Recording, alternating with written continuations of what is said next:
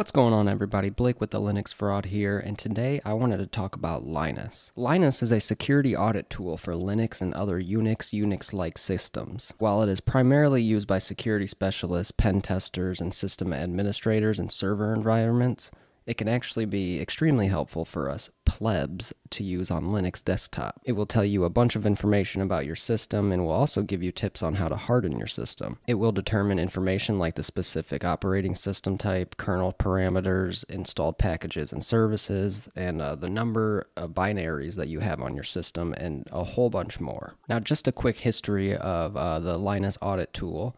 Michael Boelen uh, is the original author of Lynis, as well as the author of uh, RK Hunter, which is a uh, it's another helpful tool that scours your system for any potential rootkits. If that sounds like an interesting video, let me know down in the comments if you want to see that. The current developers of Lynis is a company called CISOfy, an independent software company that also has their hands in the field of information security. Actually, a fun fact, Lynis won an InfoWorld Bossy Award in 2016.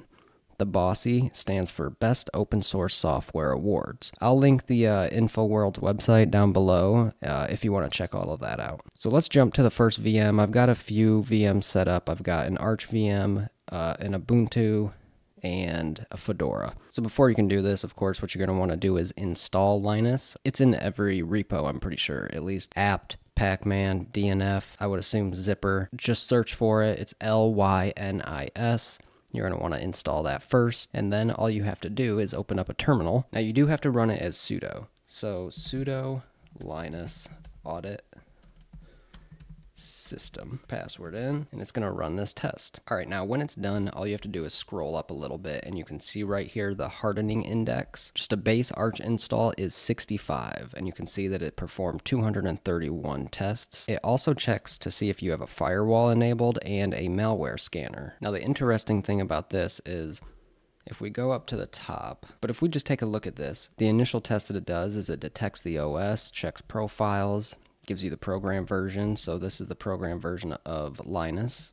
The uh, the, the most up to date package is 3.0.8.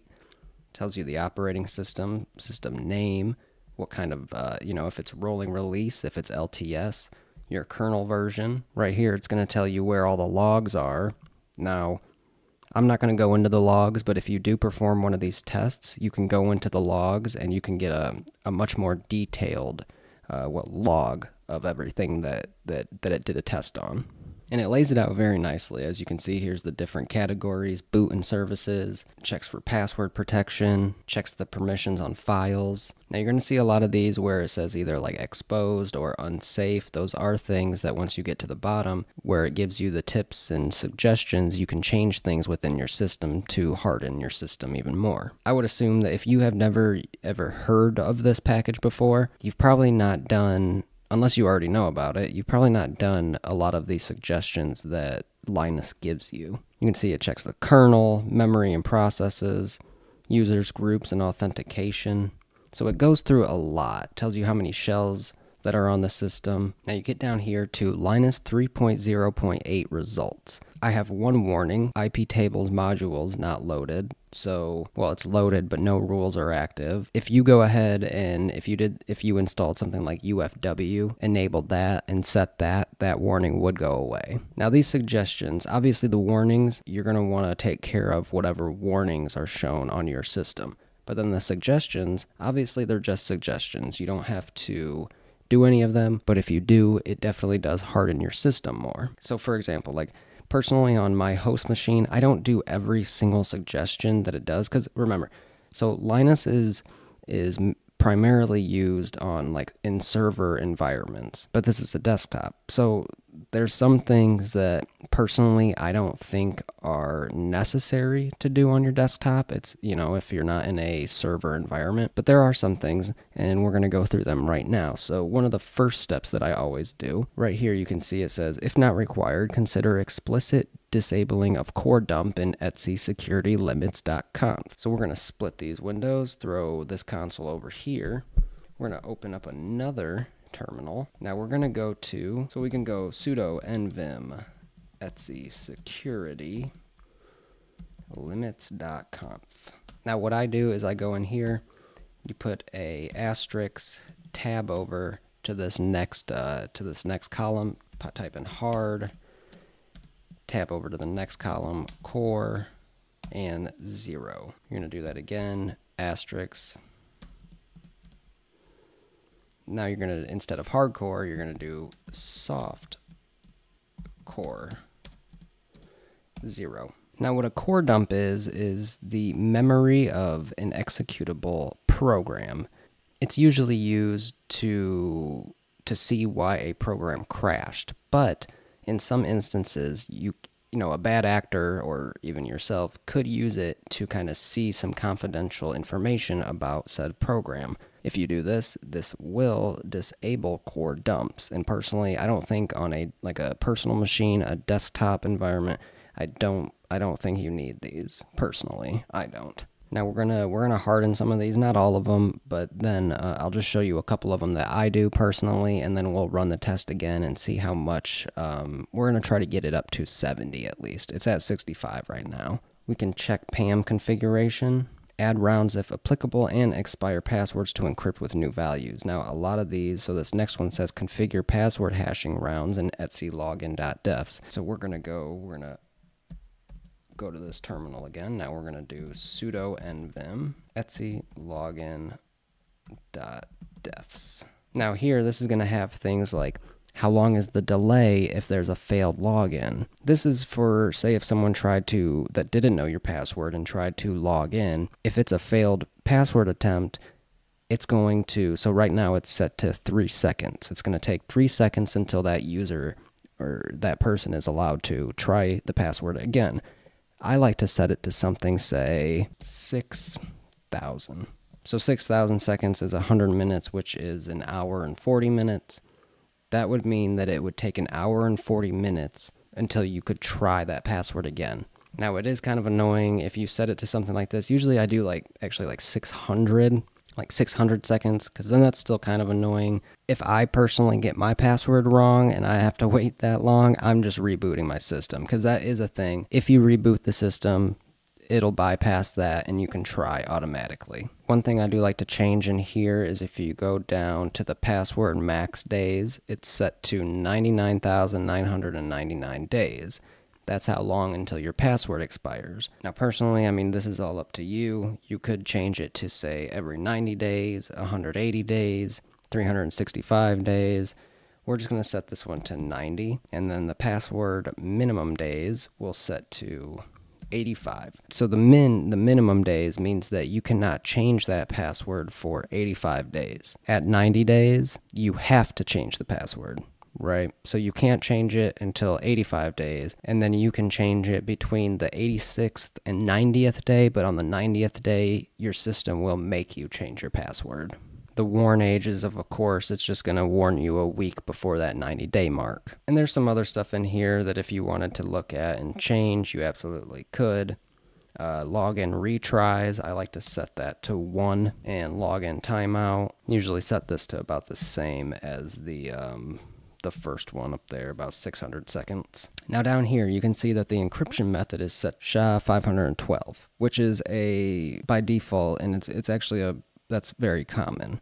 Now, Fedora, I believe, has changed their encryption method to YesCrypt, which is something that you are able to change here if you wanted to. But just make sure that if you wanted this to be encrypted, it regardless, there's there's SHA, there's bcrypt, there's YesCrypt, there's those three. You can change any of those if I wanted to change this to yes crypt. But for this to for this to be enabled, I have to go down here and uncomment yes crypt cost factor, exit that out. And this can go from a range of 1 to 11. Usually I would go to the to the max.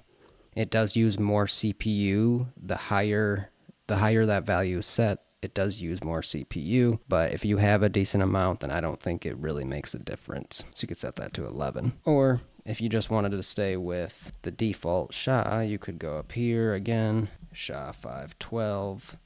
But then, of course, just remember to uncomment this and uncomment this. So the minimum and maximum rounds. I would say if you wanted to do max rounds or minimum rounds, you could have like so the default's 5,000. Fuck it, go up to like 5 million, right? And max would be maybe say 50 million. You can literally go up to what is this? 1 2 3 1 2 3. You can go up to 999 million, 999,999. I've never done that, but I mean, you can set it to whatever you want. So that's etc login.defs. We'll go back over here. Let's see. So we disabled core dumps. We add we added hashing rounds. We can install a PAM module. PAM stands for Pluggable Authentication Modules. You can install something like PAM cracklib or PAM password. I think that's quality control, I would assume. If you use cracklib, um, you, you, could install both of them if you wanted. So say we'll do that. sudo pacman dash s cracklib, I believe it is, on Arch. Another, uh, this is not, or it kind of does have to do with security and whatnot, but another good package is pwgen, which is password generation. You can install that, pwgen. And what pwgen does is it prints out a whole bunch of different passwords. But now that's just by default. We could go pwgen 1 and 20 so that's going to that's going to print out only one password but 20 characters long. And you can actually go do dash dash help and it shows you the different kinds that you can do. You can add capitalization, no capitalization, numerals. So let's say let's do that, right? So we do pwgen 120 dash C for capitalization dash N for numerals. Now you can see 20 characters long. Now it's got lowercase, capital letters, and it's also got numbers. So it just makes it a little bit stronger. That's personally how I create all of my passwords. I think it's a pretty handy little tool. Now we go back over here. So we set expire dates and everything for all of that, so that doesn't matter. We set a minimum and maximum password age. Then also we can go into etc profile. Go over here, sudo nvim etc profile. Now right here, default the UMask is set to 2022. I personally like to set that to 077. Oops. That just makes it 077 is a little is is actually not a little, it's a lot stronger than 022. We'll right quit that. A few other things that you can do is you can disable drivers like USB storage. So when you're not using it, if if you if you disabled that and you tried to stick a USB like a drive or any USB device in, your computer will not recognize that. Because for instance, you could if you left your laptop on even if it was locked, if the security, if it wasn't hardened, somebody could theoretically come in with a USB drive and get into your system. I'm not going to set that up right now, but that is something that you can do. It recommends to install Arch Audit. Arch Audit is actually um, quite helpful. We can go sudo pacman. Obviously, this is only on Arch based distributions. Arch Audit. Now, if we run that, it will actually print out a list of applications and programs that are at risk, right? So Grub is actually affected by a very high risk vulnerability right now. And you can see right here on the right, it says high risk, medium risk, or low risk. I do suggest going and checking what those vulnerabilities are all about. I'll link that down below. So that's just a way to get a sense of what applications on your system are potentially at risk for vulnerabilities. And then there's obviously a whole bunch of other things. So, again, I'm not going to go through all of those, but you can just see the amount of information that this program gives you.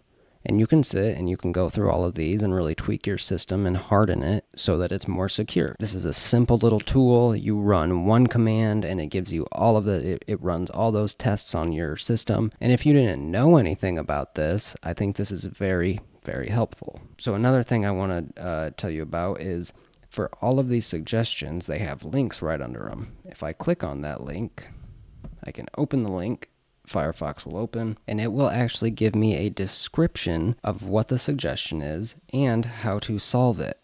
So if you don't know exactly what to do, this will, it's not going to give you like super detailed instructions, but it at least gives you a good start to then you can go and find more information if need be. So one last thing, let's close this uh, console out. We're going to log out and then we're to log back in, run Lynis again just to see how much, just from doing those few tweaks, or how much the index, the hardening index went up.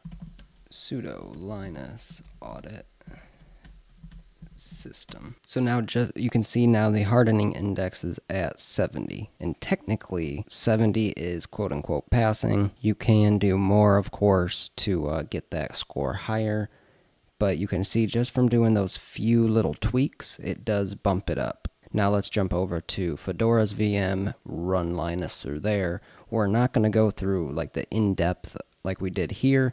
I just wanted to show you on one system, you know, the few tweaks that you could do easily. I just want to see what the score is on Fedora and compare them with, of course, this Arch Linux and then Ubuntu. All right, so now we're in Fedora. We're going to run sudo lynis audit system. All right, so now it's done. Let's go up here. Okay, yeah, so 73. So Fedora is definitely, it's almost 10 points more hardened than a base Arch install, right? Which makes sense. Arch is very bare. Fedora has a bunch more stuff and it has SE Linux installed too. Oh, Ubuntu. I've actually never used Ubuntu. Alright, so open up a terminal. We're just going to run a good old sudo lynis audit system. Put in your password. I actually was not, uh, I wasn't, I wasn't expecting that. Again, you can go up here, probably the same amount of suggestions and whatnot. Let's see if there's any warnings. IP tables, so same warning. Pretty much the same uh, suggestions, just like Fedora, just like Arch. You can go through there and harden your system. All right, everybody. Well, that was the video. So what we had, Arch was 65, Fedora was a uh, 72 or 73. I think it was 72. And then Ubuntu came in last, actually, uh, with a 64. So it went Fedora, Arch, Ubuntu. I was not expecting Ubuntu. I know that it's not like some crazy secure distribution, but I wasn't expecting Ubuntu to be less than Arch. Just because Arch is so bare, you know, and you have to configure everything. But yeah, so that was it. That was the results of the test. I hope you learned something. And honestly, if you've never heard of Lynis, go install it right now run that on your system. Go make those few tweaks, even if it's just the ones that I showed you, uh, just to make you know make it a little more secure. But that is the video, everybody. If you liked it, please consider hitting that like button. And if you like this kind of content, consider subscribing because we have a bunch more content coming your way.